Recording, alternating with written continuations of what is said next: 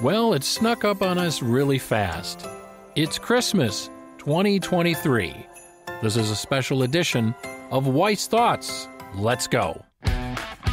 It's time for a virtual campfire sit down with Terry Wyce. Welcome to Wyce Thoughts. Hey, everybody. Welcome, welcome, welcome, welcome to the podcast. Welcome to Wyce Thoughts. I am your host, Terry Wyce, and I am so glad you've decided to join us and spend some of your valuable time with us here today on the podcast, lovingly called our virtual campfire sit down, wycethoughts.com. I hope you are all well. I hope the family is well. And we, as we talked about in the teaser, we're going to talk about Christmas 2023. This is a special edition of Wyce Thoughts as it is Christmas. Christmas 2023. Uh, did you get all your Christmas shopping done? Did you? I got most of mine done. And boy, didn't it really sneak up on it on us this year? Holy mackerel. But before we get into that, it's going to be time for our very fa- favorite segment that we got coming up here in just a second here the wordsmith word of the episode. We're going to get into that. And uh, just by the way, wycethoughts.com is the website. So if you want to stop by the website, it's wycethoughts.com. There you can listen to each and every episode of this podcast, comment on the shows if you so feel so inclined, and so much more. It's all at wycethoughts.com and it's waiting for you. I also have a YouTube channel. Just look for Wyce Thoughts on YouTube or at Terry Wyce on YouTube, okay? Now, before we do that, before we get underway with the show today, we've got a couple house cleaning things to take care of, and you know what time it is. Uh, it's that time again. It's time for the Wordsmith Word of the Episode. That's right, it is. It's time for our Wordsmith Word of the Episode, where you can show everybody about your knowledge of the English language. And this week's Wordsmith Word of the Episode is Miss AWA. Gadabout. All right, one more time. Gadabout. All right, let's use that in a sentence, shall we? My cousin is such a gadabout. She's always posting photos from a fun new location. You can call me a gadabout, but I'm always looking for the upside in a situation. So, a gadabout is an habitual pleasure seeker. That's what a gadabout is a habitual pleasure seeker, and it is English from the mid 18th century. And you, you really don't hear this one used that often nowadays, but it is gadabout. It is spelled G A D A B O U T. And that's our wordsmith word of the episode for this edition of the Wyce Thoughts podcast. So go out there, impress your friends, uh, show them show them your big brain and your uh, your very wide use of the vocabulary that you now possess with gadabout. So uh, welcome, folks. Welcome to the podcast. Welcome to our virtual campfire sit down. We lovingly call Wyce Thoughts.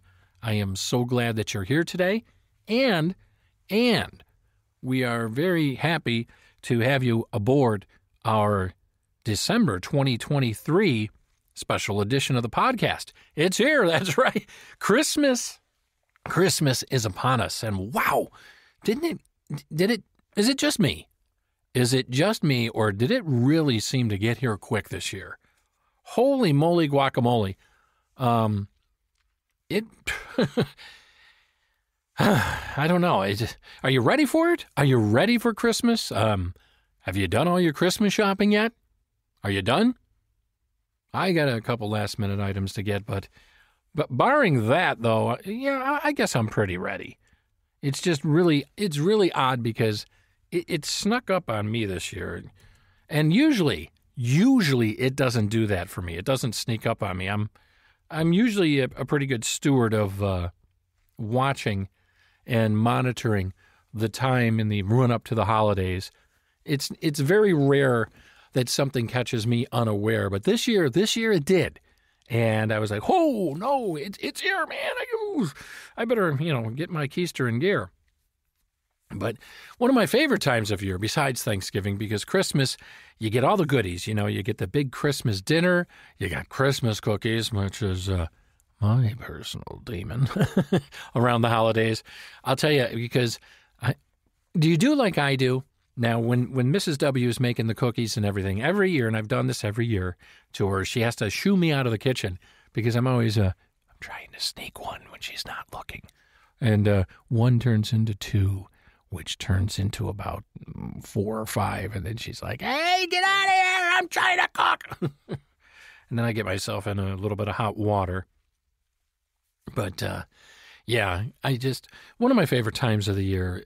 Who knows if the weather's going to hold up here in the northeastern half of the United States, from whence the program cometh to you. We are supposed to have a green, a green Christmas this year. They're talking about highs. Are you ready for this? On Christmas Day, they're talking for uh, a high on Christmas Day between 50 and 55 degrees. Break out the Bermuda shorts. It's a Hawaiian Christmas in the Northeast this year, folks. Santa's going to be wearing uh, shades and uh, some SPF 30, I guess. oh, golly. Well, what are you going to do? Hey, it's about celebrating the holiday. It's a, it's about the fellowship. It's about getting together with friends and family. That's what it's important. That's what it's about. Um, not so much the weather. So I would submit that for your uh, consideration in there. But uh, who knows? Um, what are some of your favorite? Uh, what are some of your favorite memories of Christmas past? The ghosts of Christmas past, as it were.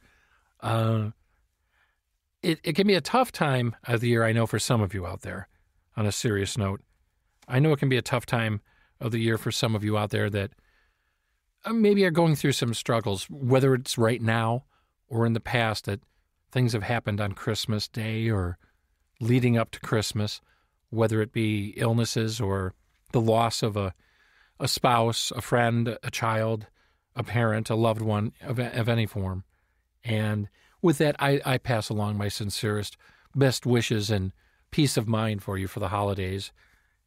And I would offer, I would offer this take heart. Don't let a you know a, a tragedy um, you know befall and stain all the happiness that that this time of the year can bring. And I know I know what some of you are saying. You're saying, "Yeah, Terry, that's easy for you to say. Maybe that hasn't happened to you yet." And honestly, you know, knock on knock on the desk here. It hasn't, and I, I wish it. I hope it never does. And I don't wish it on anyone else either, even people I don't particularly care for. That being said, though, you know, like I state on this program a lot, you, you we only get one trip, one trip on this blue orb that we call Earth. And I know some real crappy things happen to good people who don't deserve it, uh, and it can really take away from the the joy of the holiday season and and it, it has to probably be difficult for some of you out there that look around and see everybody oh yay happy and you're like you know but don't don't let it turn into a into a scrooge. A little sip of water there. Just to uh, don't don't let it um you know drag you down and and and do that. I know it can be easy to do, especially in today's world with all not not discounting the personal issues that some of us may have, but the world stage and again the way sometimes the world just loves to promote misery is what I say. They love to promote the misery, don't they? They love to promote the misery out in the world. And a lot of us out here buy into it. And at times I have too. So again, not standing on a soapbox preaching at you or wagging my finger in any way, shape, or form. All I'm saying is trying to remember the true spirit of the holidays. Um, celebrate the ones around you. You know, it might be that, yeah, maybe you've lost a friend or a loved one, but celebrate the ones that remain. Be there for them. They can be there for you. And maybe, you know, get through the holiday onto bigger and better things. So, but speaking of Christmas, uh, did did you find or have you found that you are spending less this year, maybe due to just economic conditions? Or are you pulling back and spending less just for the mere fact of you want to get away from the commercialism of Christmas? Is that one of the things you want to do? Is just take that step back and say, you know what? I am sick of the corporate America pounding Christmas and saying, if you don't buy this Xbox 74 that costs, you know, $900 for your seven year old, well, you're not a good parent. Maybe you're taking a step back a little bit and want to teach your children uh, instead, instead of consumerism uh, and, and big capitalism, you're just taking a step back a little bit and saying, hey, you know what? We're going to we're gonna, we still give gifts and such, but we're going to scale it back a little this year. Or maybe you're scaling back because of financial things. You know, we're, we're still officially in a recession, I guess you could say, with inflation still being pretty high uh, and forefront on most people's people's mind. People's people's most forefront on people's minds. This is what happens when you try and have four thoughts ahead of the thought you're currently talking about. And uh, no, I have not had any caffeinated beverages uh, two hours prior to recording this for you. But uh, the holidays, yes, the holidays, yes, indeed. They can be a great source of inspiration, a great source of triumph, a great source of love and understanding, forgiveness, um, so many things. But they can be a source of, of grief and loneliness for some people as well. So, you know, good, bad. It, I guess ultimately at the end of the day, what I'm trying to say is any holiday including Christmas. It is what you make of it. It is what you make of it. And it's up to each and every one of us to decide what we're going to make of it this year in the year 2023. Uh, and following right around the corner is New Year's, New Year's Day. To the start of uh, 2024 is just literally right around the corner, folks. So get those New Year's resolutions ready. I'm going to lose weight this year. I'm going to save more money this year. I'm going to make more money this year. I'm going to spend more time with my family, and so on and so forth. But think about it. And that's coming quickly right after Christmas. So you got to get those you got to get those things ready, right? I mean, the year is ending. And it's I think it's a great time to, to sit back and think what have I accomplished this year? When I when I started in January of this year, what and when I say I, I'm talking about all of us. What did we want? What did we want to accomplish? What did we yearn for? What did we want to change? What did we not want to change? Things we wanted to accomplish. Did we accomplish them? Did we get through half of them? Did we get through a quarter of them? Did we get through none of them? Did we progress or did we regress. You know, things like that. It's a great time of the year while you're out celebrating, having your eggnog and your whiskey gimlets or, you know, whatever, your Christmas punch. It's a great time of the year to now start thinking about okay, let's do that year in review, like everyone does for all these shows, the year in review, and start thinking ahead to the next year and what you can do to, you know, improve, make the upcoming year better than this year. But before you do that, at least enjoy the holiday season. Get get together with your friends, get together with your family, uh, your neighbors, your loved ones, your friends, and just enjoy the holiday season. Don't let the outside world get you down. Don't let past things or present things get you down. And if you can, if you can, mend fences in your family and friendships and your relationships because life life my friends is way too short for any of us I think to hold grudges for any length of time.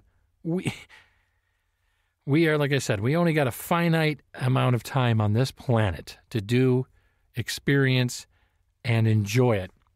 And we want to make the most of it. And hopefully all of us all of us yours truly and all of us listening to the podcast today have many, many, many, many decades of life left. So make them good, make them count. Make them special. Make memories. Remember, the past is history. Tomorrow is a mystery. All we have is the present. Enjoy your Christmas. All of you. God bless you, one and all. I wish nothing but the best for you and your family this holiday season. And we will talk real soon. Thanks again for listening to Wyce Thoughts. Hey, thanks for listening to the program today. I truly appreciate each and every one of you out there. And remember, to see a change in the world, you have to be the change in the world you want to see. It all starts with you, the person looking back at you in the mirror every morning. Remember to be kind to yourself, be kind to others. If you want to tweet at me on Twitter, it's at Terry Wyce. Stop by the website, wycethoughts.com, just to make sure you spell my name right W Y C E, wycethoughts.com. And hey, leave us a positive rating and review on your favorite podcast provider, won't you? Tell your friends, tell your family, tell your pets about Wyce Thoughts. And I look forward to gathering yet again around the virtual campfire with you real soon. Take care.